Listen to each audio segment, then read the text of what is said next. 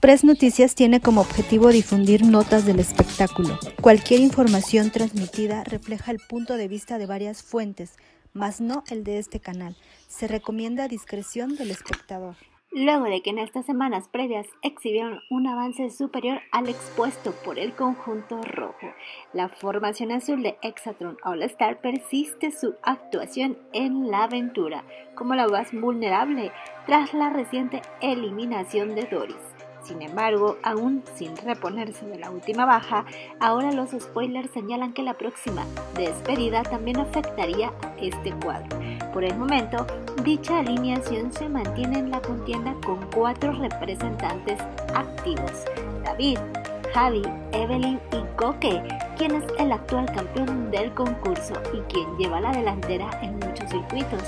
No obstante, pese a todas las victorias pasadas, el fuerte desgaste físico y mental que tienen los concursantes de Hexatlon All Star, aunado al esfuerzo extremo que realizan a diario en contra de los seis oponentes rojos, ya provocó una fractura que no tarda en colapsar con la partida de otro elemento, uno que aparentemente volvería a ser celeste y que no tendría la oportunidad de retomar nuevamente la batalla.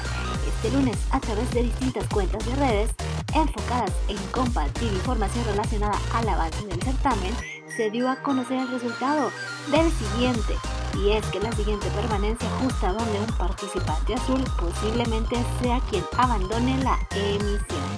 Y es que según los datos que filtran los spoilers, Javi Márquez, finalista de la cuarta temporada, es el componente de la línea celeste, que no lograría defender su estancia en el séptimo ciclo de Hexatlon, la competencia All-Star, que al inicio de las pruebas arrancó con la emisión de ganar.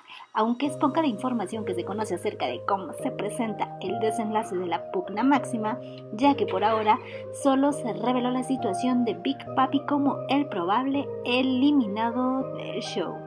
¿Ustedes qué opinan? ¿Será verdad, será mentira lo que nos revela este spoilers? Hasta aquí la nota. No olviden dejarnos sus comentarios. Noticias, tu canal.